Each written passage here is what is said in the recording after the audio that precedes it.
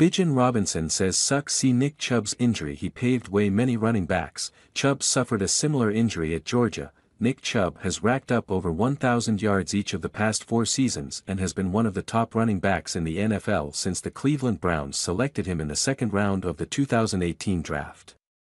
Chubb appeared to be well on his way to producing another 100-yard rushing performance Monday night.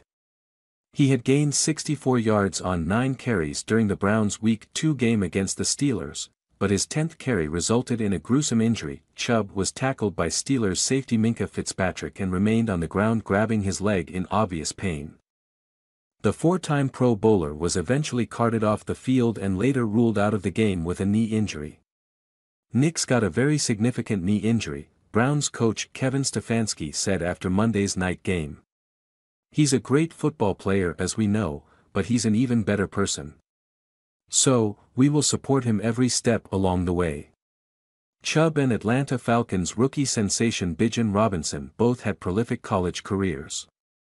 Chubb bounced back from a knee injury during his time with the Georgia Bulldogs, from 2020 to 22, Robinson played for the Texas Longhorns. Robinson was considered the consensus top running back in this year's NFL draft, and his rookie year is already off to an impressive start. Robinson said Chubb paved the way for running backs like him. I was hard to see that, Robinson said to Chubb's season-ending injury. He paved the way for so many running backs. His running style and just who is as a person, I just think it just sucks to see that. He's a guy that does everything right. He does everything the right way. And to see that he got injured like that. Especially because he got injured in college, it really does suck. Robinson told Fox News Digital. For a guy like him that's been the standard in the NFL for a long time. It sucks. Robinson added that he wanted to be respectful of Chubb's situation and give him some time before he personally reached out to the Brown star. Robinson considers Chubb a role model and said when he does eventually speak with Chubb he would check on how he was doing. I haven't had a chance to talk to him yet.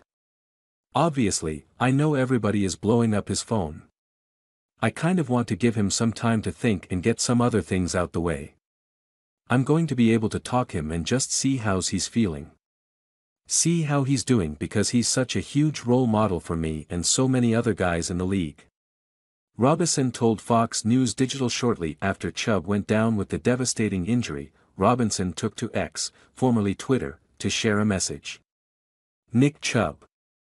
God is right there with you. Role model, Robinson wrote along with a praying hands emoji. Reactions also poured in from the NBA world.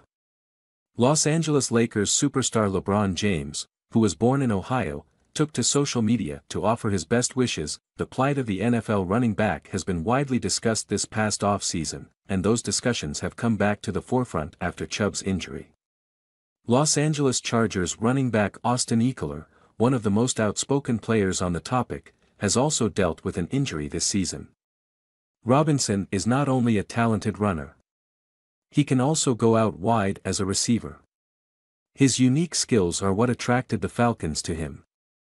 Despite the state of the running back market and its salaries, Robinson hopes to open doors for young players who aspire to be ball carriers.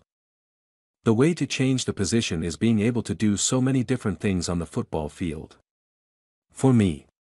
Lining up at receiver, lining up at slot, making yourself someone that is valuable for your team, for your offense. A lot of running backs in college, they text me and ask me for advice and how to be successful and how to do so many things in this league. I tell them you can't just be a one-dimensional player, like you can't just be a running back. You gotta be a guy that they can count on at receiver, a guy that they can count on a slot. A guy that they can count on in different situations that your team needs because that's what gonna gain value in you as a player. And it's gonna make you so much smarter as an overall ball player.